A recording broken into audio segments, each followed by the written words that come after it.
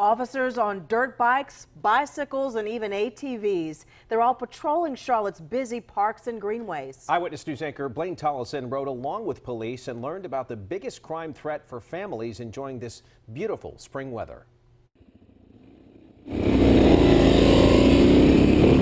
There are almost 200 miles of greenways in and around Charlotte for CMPD to patrol. That doesn't count the more than 120 parks. They're covered with trees, trails, and tight spaces to navigate. I got an up close look at how officers are going to those areas with onboard cameras and as I rode along with Bike Patrol. Captain Christian Wagner, who leads the new transit unit, says the team will be crucial to keeping you safe this spring and summer.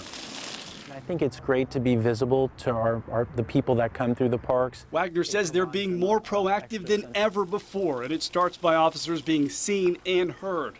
We found it's already working. During our ride along, officers reached a woman who fell in the McMullen Creek Greenway within a few minutes.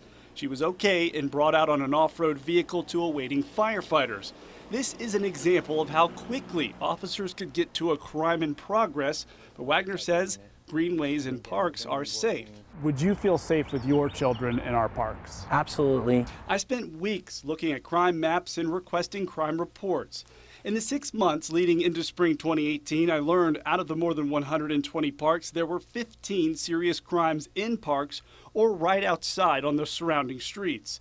They included a murder, two sex crimes, and several robberies and incidents involving a gun, but no repeated incidents of violent crimes in parks. People who use them daily told me they feel safe. I noticed the police officers come with the bike and the ride around. So you've seen them out? Yeah, just that make me feel like, okay. In Freedom Park, which didn't have any serious crimes in recent months, seemed to be plagued with car break-ins.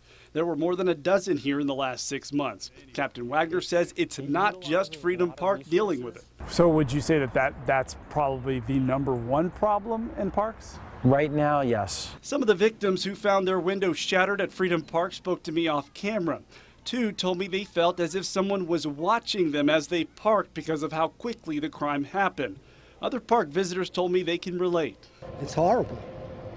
You know, you feel like you've been, uh, you know, violated. Captain Wagner says they can't be everywhere and want people to leave valuables at home and lock their car doors.